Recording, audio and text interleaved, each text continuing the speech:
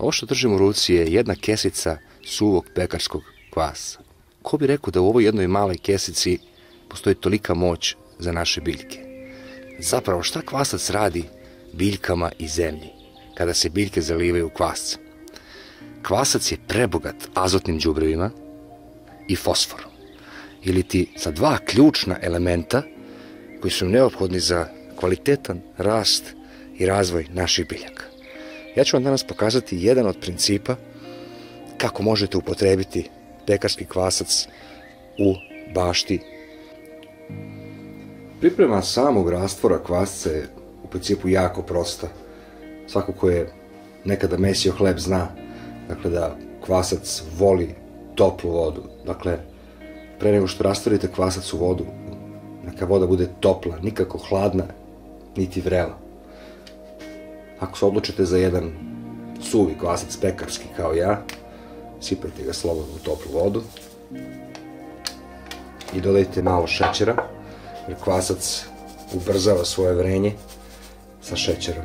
Ne treba mnogo, samo malo šećera je dovoljno da kvasac započne da svoj proces.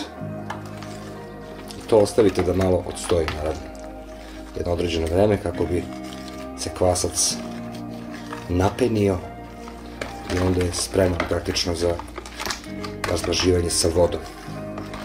Dakle, ovo je prvi postupak spravljanja prihrane za paradajz, papriku, krastavac i sve biljke. I vitamin B je jako, jako važan za njih. Posle određenog vremena kada kvasac na bubri, promešajte ga slobodno još jednom. Kako bi što bolje proradio razvoj bakterija u kvasu. A svi znamo da od kvasca testa i kolači rastu. Isto tako utiče i na biljke. Biljke dobijaju jači koren, rastu brže.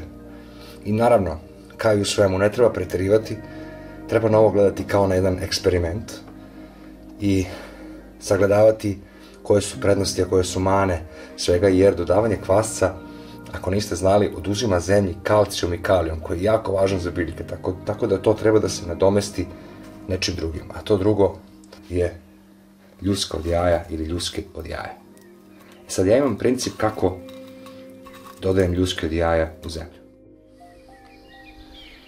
Da bih biljci olakšao da preuzme kalcijum i kalijum iz zemlje, ja uzmem i izmrvim ga koliko god mogu više na dva kamena najlakše može da izvede zamisao sitnjenja ljudske od jajeta, koje će poslužiti našoj biljci da povrati izgubljeni kalcijum i kalijum nakon zalivanja kvasca.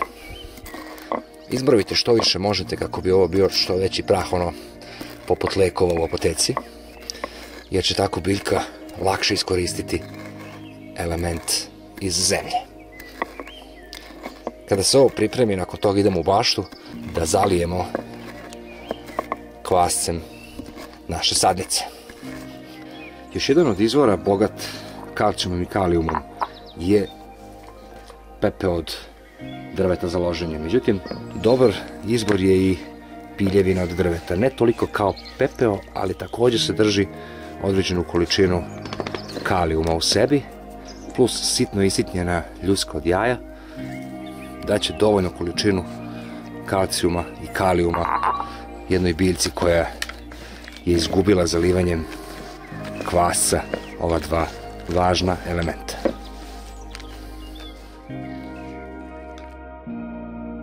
Evo sada smo u bašti. Prvu stvar koju ćemo raditi, prvo ćemo sipati piljevinu i ljuske od jajeta okolo biljke a nakon toga ćemo zaliti kvascem jer jednostavno lakše je kad je zemlja suvlja da se to odradi.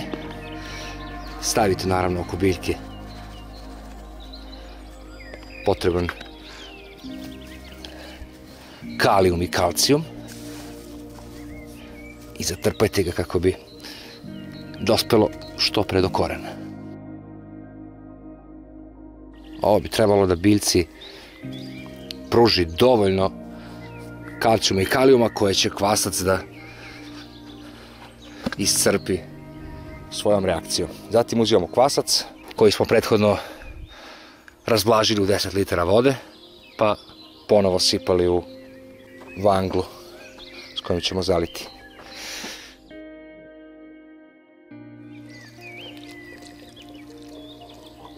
biljku s kvascem.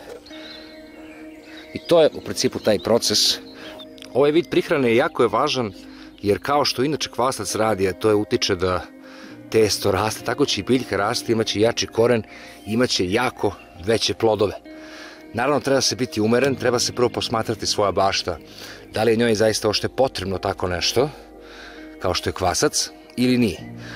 Zato uvek treba eksperimentisati i pratiti rezultate svog uzgoja.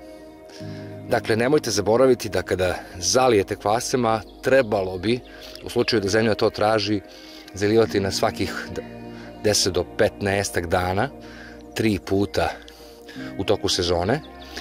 Nemojte zaboraviti da dodate pepeo ili bilo kakav izvor kalcijuma i kalijuma, jer kvasac jednostavno crpi to iz zemlje i biljke ostaju bez njega i samim tim ne mogu da se razvijaju kako treba. Dakle, treba se biti umeren, treba se biti pažljiv i treba eksperimentisati i ispitivati kako se vaša bašta ponaša pre bilo kakvih intervencija.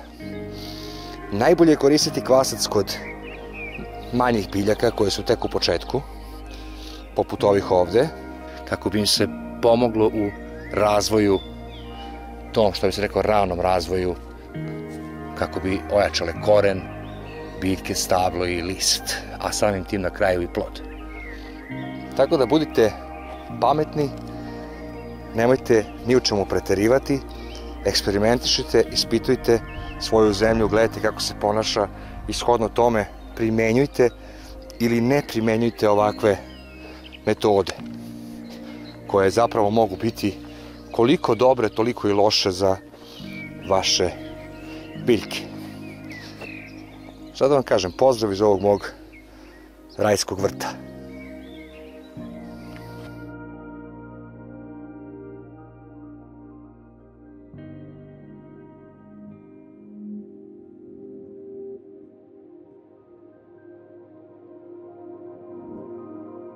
Ako vam se svideo ovaj video, podržite kanal pritiskom na dugme Prati, podelite video sa prijateljima i rodbinom, pritisnite zvonce i u padajućem meniju pritisnite sve, kako ne bi propustili sledeću objavu. Hvala vam na pažnji i vidimo se uskoro.